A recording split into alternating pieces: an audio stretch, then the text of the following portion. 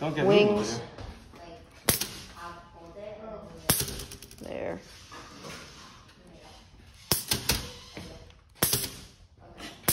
I don't know why he does that. Probably finicky. See, this is what I'm saying. Yeah, well, it's a leverage problem. Mm-hmm. You know something you can do?